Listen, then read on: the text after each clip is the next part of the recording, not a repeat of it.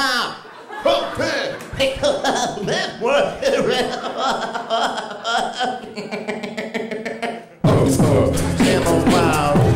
No pay no mind. No pay no mind. No pay no mind. No pay no mind.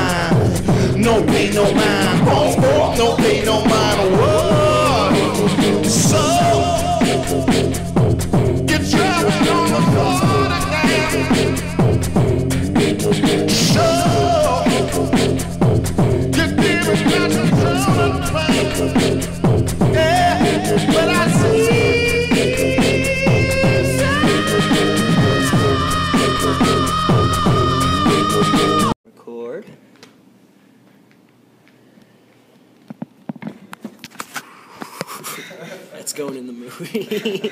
So, we're talking about mystic realism today. Would you like to tell us what mystic realism is to you? Technical issues with the camera. Well, mystical realism to myself is the idea of taking people in a real situation, in the reality of the world. He soon finds out that the world he thinks he knows isn't truly just it. Right. There's more to life than that, which becomes the mystical part of it. I'm just going to go ahead and use Harry Potter as the first example It's a fine example. wizards and witches and, and uh, trolls and you know, magic. Magic is a thing. Well, he is a muggle, but he doesn't know that he's a muggle.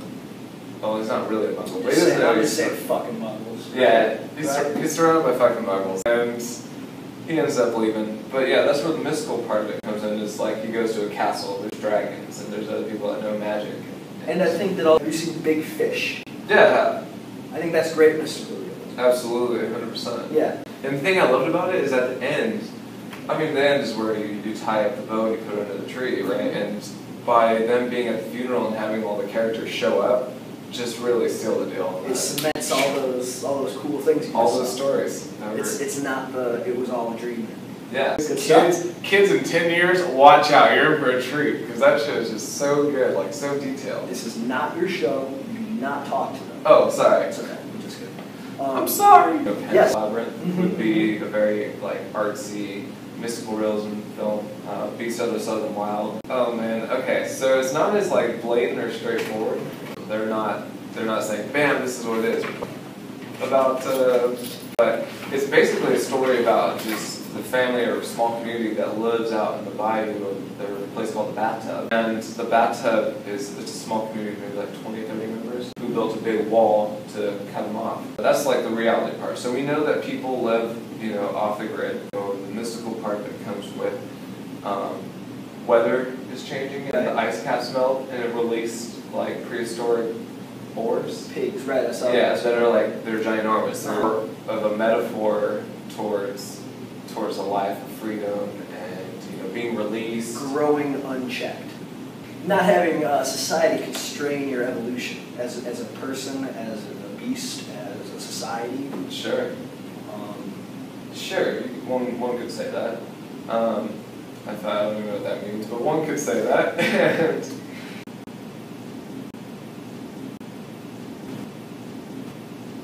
yeah, that, that looked like a very interesting movie. I still want to see it. oh, dude, bring a box of tissues. It's it's an emotional ride. You can you can say a lot of films are mystical realism. This is where like the heavy argument comes in There's there's elements in a lot of different movies. Yeah. Absolutely. I mean, if you look at the Avengers or any Marvel like comic movies, like Superhero those, movies. those are all mystical realism because here they are living, you know, in today our very modern society, but yet, you know, they're doing all these things without consequence. That, that just reminds me of Thor. You know, Yeah, in, definitely. in that film, that was, you know, a lot of people didn't like the Thor film.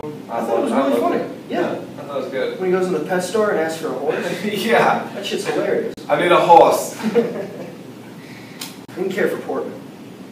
for Natalie Portman. We're having more camera difficulties. Oh no, it's just. Uh, It's all good.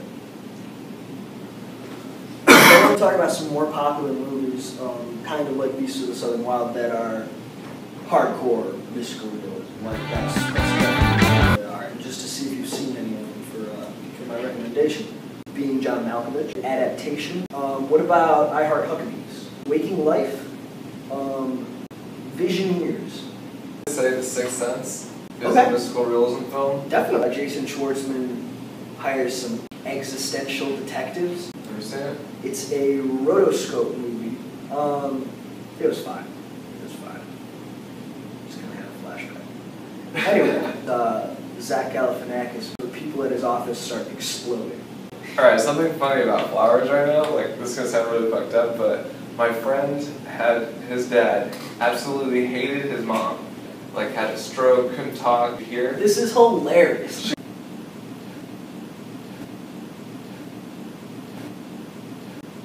You know, to be honest, I have no idea where the mystical realism really started. Right. This is this is a new discovery for me. I just found out that this is my genre. Right. And it took me, you know, two and a half years making films to figure figure this out.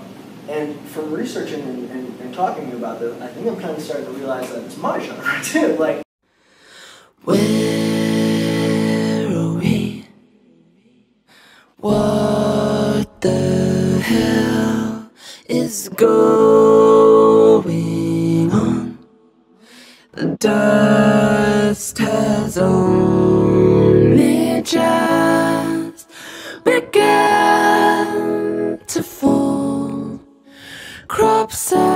in. Get your shoes on, get your shoes on, get your shoes on, get your shoes on, get your shoes on, Get your motherfucking shoes on.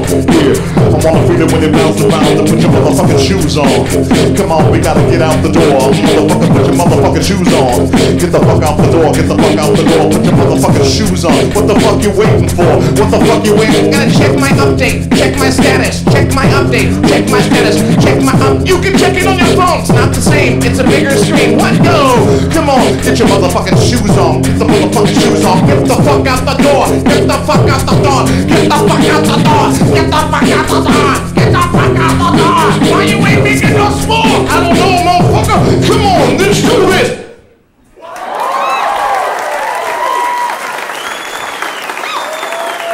Thank you. Thanks a lot. Thank you. Thank you. We do appreciate it.